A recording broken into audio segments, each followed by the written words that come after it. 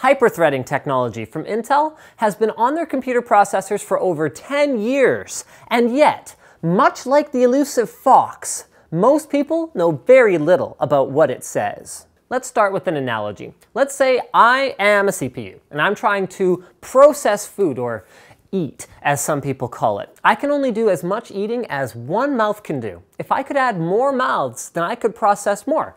This is what multi-core processors do, but due to cost constraints, among other things, it's not always possible to take that approach. So I've got just one mouth. I can use my hand to pick up the food, bring it to my mouth, then grab another bite while my mouth is busy. If I finish chewing before my hand is ready to deliver me more food, however, then my mouth is just sitting there doing nothing.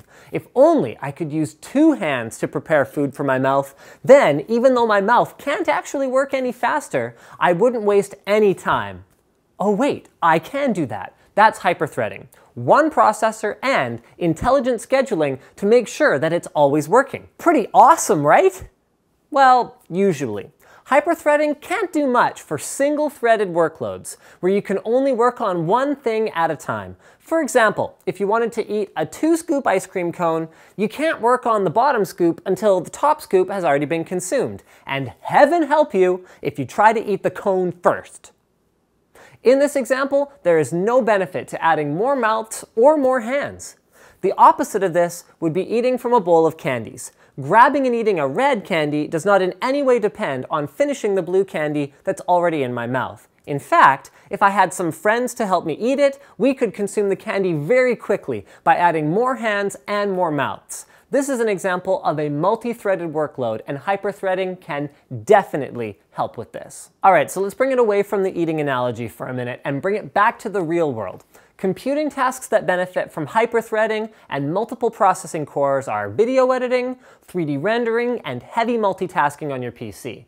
Video editing is a great example because one frame of a video can be processed while the next one is queued up because the video is already shot. The PC doesn't have to guess what's going to be in the next frame. It already knows. Here's another multitasking example. One processor can be handling your light tasks like Skype and music playback, antivirus, and whatever else you have running in the background, while another one can focus all its attention on running a power-hungry video game in the foreground. So with that out of the way, how do you actually choose a processor for your PC? The first thing I hope you got out of this is that whatever task manager might say, hyperthreading is not the same as doubling your processing cores. It's basically a clever trick for more efficient scheduling of the work that is done by the processing cores that you have. It also increases power consumption and heat output a little bit, but the benefits usually outweigh this drawback. In the real world, you can get huge double-digit performance improvements all the way to no performance improvement at all, and in very rare cases, even very slightly decreased performance, depending on how the software is optimized. So it's important to do your research about the software you'll be running. If the work you do isn't heavily multi-threaded, then you might do just as well to save your money and buy a processor that doesn't have hyperthreading.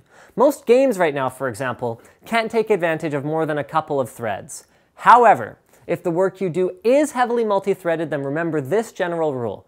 Hyperthreading is better than no hyperthreading, but is not nearly as good as adding more physical processors. In an ideal world, lots of physical processors, each with hyperthreading, is where it's at. Speaking of where it's at, audible.com gives you a free audiobook just for setting up a new account, and if you use the audible.com slash Linus link below me, then it makes me look pretty good. They've got over 150,000 books with everything from fiction to self-help to business. I checked out The 4-Hour Workweek by Timothy Ferriss, which is why I am in Hawaii right now.